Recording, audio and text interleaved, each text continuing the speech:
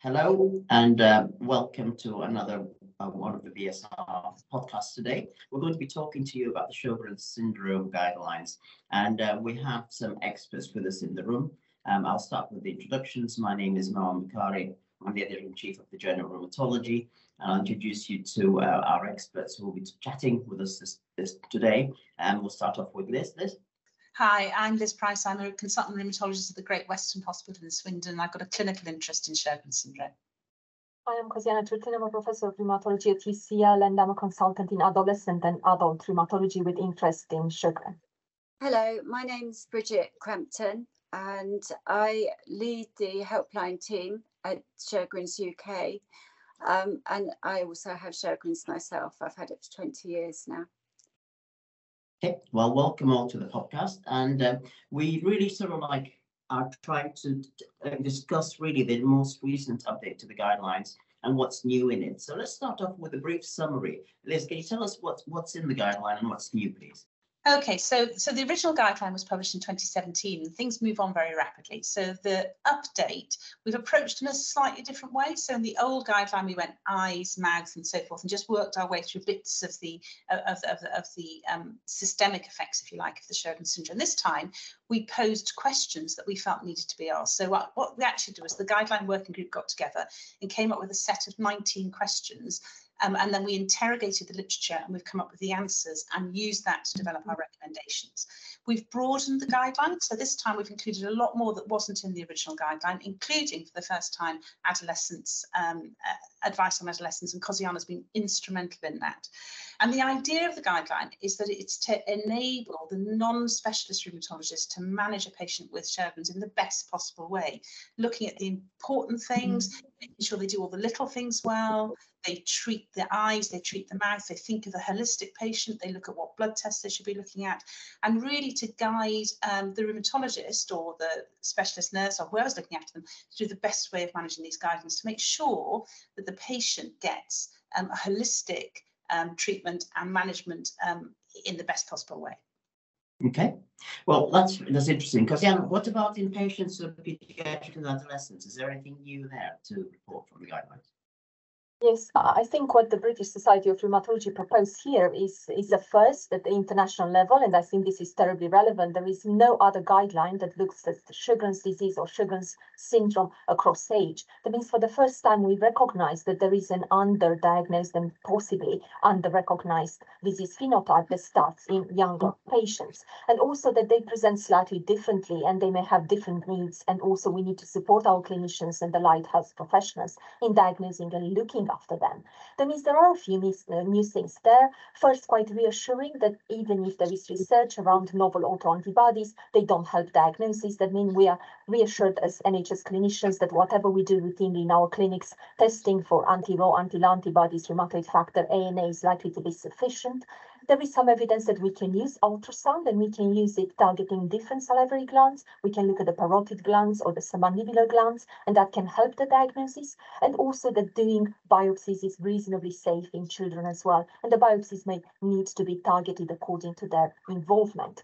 There is some update on medication, and we've been quite careful to try to map the evidence, which unfortunately is not very, very strong because there are very few studies. And as we know from adults, there is absolutely no licensed medication. However, there are some uh, updates. Specifically, we have access to cyclosporine if uh, patients, younger patients, have very severe eye dryness. We can use that in the UK now from age four, and that wasn't available a few years ago. Also, the fact that we have some guidelines that are targeted to the recurrent parotitis. Recurrent parotitis is the most common manifestation of the young people. That means understanding the way we can treat them is uh, terribly relevant. And also we looked at the evidence we have about using conventional and biologic DMARDs across the world, uh, using information that was provided by our American colleagues who surveyed their practice. And we know that there are some um, agents that can be used in, in, in children, and we map this across the guideline. Brilliant, that's great, thank you. So um, that it, it's really interesting that it's actually the first in, in children. And Bridget, from a patient point of view, uh, I mean, what do you think this will provide? What will the patients get from this? I, I think it's great for patients that, that we have guidelines like this. I think it means that the all clinicians can easily access information. And actually knowledge, I think by my experience, I find knowledge is, is a little bit patchy in, in places. So not everyone is able to, to access good care or people don't have the knowledge to direct them to, to the right specialists. And I think it will help them to access that. So that will be great for patients. I think I think also that it's good that patients can access it themselves. It will it will help them make better use of their own appointments. So they'll know what treatments might be offered. They'll know what they want to talk about at their appointments. And, and at this moment in time, appointments are precious time. They don't want to waste it. They want to, to know what they want to talk about. So, and I think it really helps patients to do that. But it's great for clinicians too to access this information. And my hope is it might standardise care across the UK a little bit more and, and you know, iron out some of this patchiness. Mm. I think it's worth saying, Marwan, that one of the issues that I come across in the patients that come to see me for a second opinion is that very often the little things haven't been done well. So I think people make the diagnosis of Sjogren's and then give them hydroxychloroquine and send them away.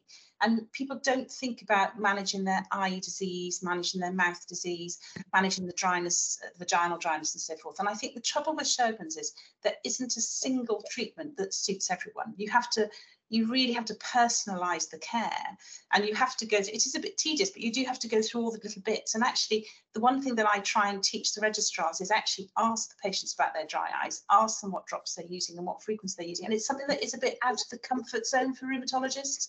So if we can get across to rheumatologists particularly this is a systemic disease that affects different parts of the system and get make them think have i asked the right questions? Am i referring them in the right direction? Do they need to see a specialist dentist for instance? Do they need ophthalmology review to start Ikervis um, cyclosporin eye drops? That sort of thing. I think that is really valuable.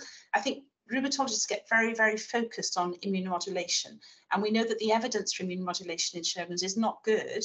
Uh, and we do use it, but actually that isn't your first line of defense in this condition. You've got to do the simple things first. And I think we forget that sometimes. I think that's really important. And it goes back, Liz, to you talking about a holistic mm. approach. And I think living with Sjogren's, it's what it's what we need most, really. And the things that make life difficult with Sjogren's are often um, a, a, a, collection of small things really that you live with day in day out um, and you do need support in finding what is available to help you with those so i think yeah i think you're right um, I think you mentioned uh, you mentioned benchmarking and everything else. I'm hoping that the audit there is an audit tool that goes with it, so that people can actually look at how they manage Sjogren's, and and that will help everybody manage it better. Is that correct? Yes, yes, absolutely. So, so the idea of the audit tool is it it, help, it reminds you, um, am I making the diagnosis correctly? Um, and although we know that ultrasound is phenomenally helpful, it isn't yet part of the diagnostic criteria. So really for a, a cast iron diagnosis, you need to have done the antibodies and or the biopsy. Um, and then if you look at the order of the things in the audit tool, the simple things are at the top. You know, have you prescribed eye drops four times a day? The very basic stuff that that I think we often forget. Well, that's brilliant. So I think we've got some fairly interesting data here and we've got something new and we've got somewhere to signpost people to when they log on to Google and the search engines or they go to the BSR website or the Versus Arthritis website or, or, or the Sjogren's UK website. Hopefully they'll be able to get through to there. Do you have any final um, things that you might want to mention about the guidelines that we haven't mentioned before? Well, I hope it raises awareness that this is a disease that can affect the ages I think it's often not thought about in younger people and it's often not thought about in men. So I think those are two things that I would want to highlight. Yeah, I think that's true. And I think also it's important um, that it, it, lays out the different things that can happen with Sjogren's. It doesn't always present in the same way. I think a lot of people who know a little bit about Sjogren's think in terms of dryness, but sometimes that's not what we see first and it can get missed then. So I, I'm hoping that it brings all this information together and and diagnosis will maybe speed up, which would be great. Okay, yeah. Yes, I, I fully agree with this, and I think uh, Bridget's view is is really really relevant. Uh, according to age, they can have different manifestation, but I feel the guidelines helps us as clinicians to try to stratify our patients and also identify different phenotypes. Think about them in a slightly different way in terms of way the way we approach their their treatment.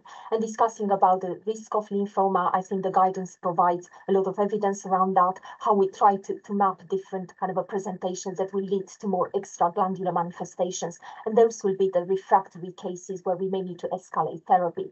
But also looking at the evidence about the benefits of hydroxychloroquine, I think having that critical appraisal treatment that we've been using for so many years, put it into the context of real benefits and evidence base, I think that's very, very useful as well. And the practical advice, I valued, uh, I always value a guideline that has non-pharmacological kind of recommendations. And I think it's really good to look into that, as well as the information we can provide to our patients to, to support them to self-manage. Just two final points from me. One is that in the course of doing the guidelines and the revision process, we looked at changing the name from Sjogren's syndrome to Sjogren's disease. And we had feedback from the Europeans and from the patients that they preferred the name disease as it changed the emphasis of the condition. Um, and there is a move away from eponymous syndromes. So um, we have in this guideline referred to it as Sjogren disease. I think in time we might lose the disease as well and it might just become Sjogren, but we felt it was a little bit too early to do that. And then finally, um, you will know that the BSR have extended the ca data capture for the NEIA audit this year um, and are including patients with newly diagnosed CTD, including Sjogren. So a plea from me, we really do not know the incidence this condition across the UK. If you can put all your newly diagnosed Sjogren's patients into the audit, that will help us tremendously.